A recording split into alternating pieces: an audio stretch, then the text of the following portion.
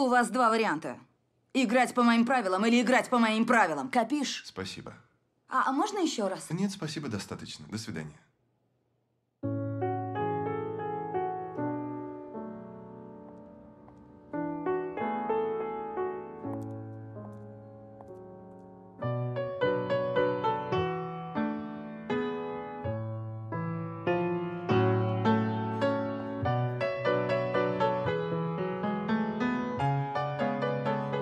Ты уволен.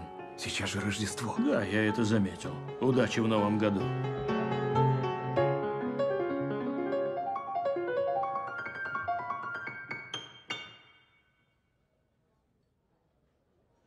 Я услышала, как ты играешь, и решила... тобой постоянно сталкиваемся. А вдруг это случайно? Сомневаюсь. Да, я тоже. Ты можешь сама писать для себя роли. Напиши что-нибудь такое же потрясающее, как и ты. А ты что будешь делать? Управлять клубом.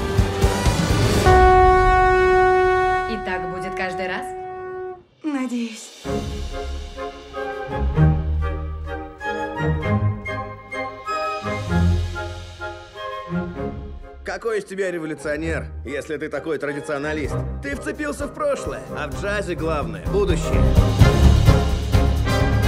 Что, если я не потяну? Ты справишься. А вдруг нет? Это просто фантазия.